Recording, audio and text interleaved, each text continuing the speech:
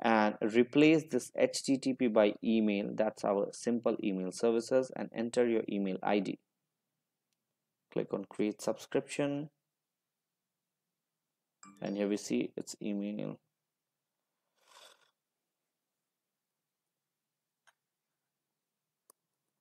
I would be logging into my email ID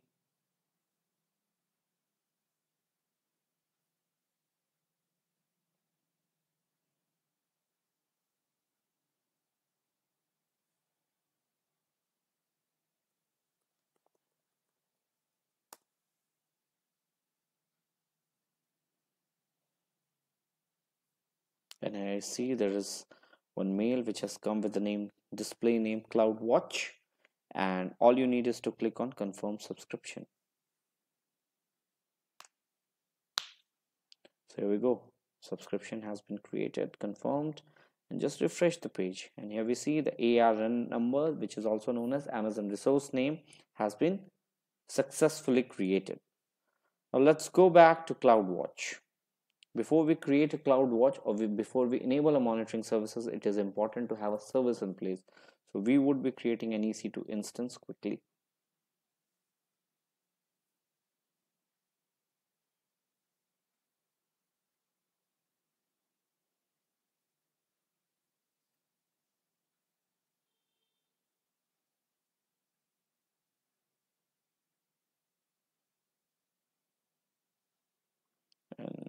Just be creating the service quickly before just waiting for the time.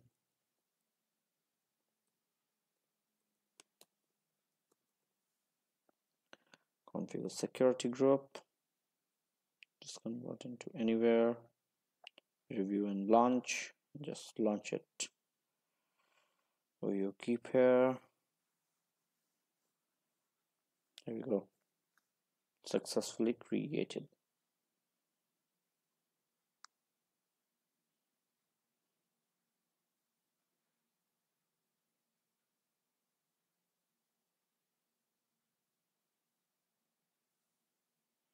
so see now we see our server would be in running state. We'll go back and create CloudWatch the first thing in CloudWatch is to enable monitoring whether it is it is good it's bad threshold has been breached or not that's a different story. The first thing is to enable monitoring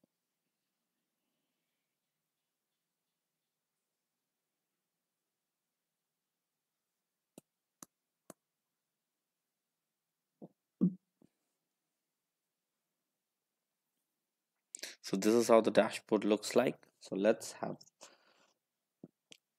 a dashboard for our EC2 instance created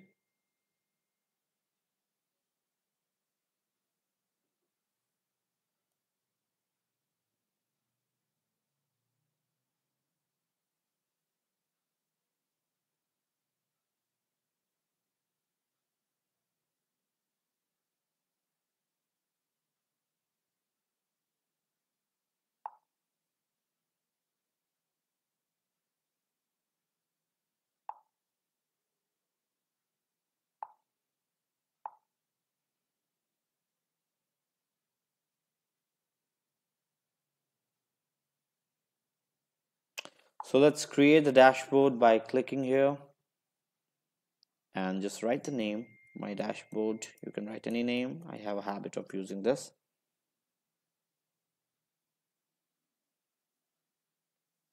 Select the widget. How do you want to monitor it? Do you want to monitor in a graphical way or a numeric or text or query result? I'll just be selecting line, configure it.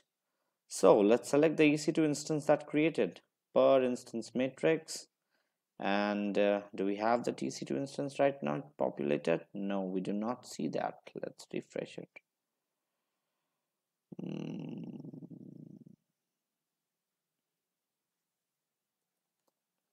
would be monitoring the CPU user but I still don't see my EC2 instance populated. So wait for some time and further configure it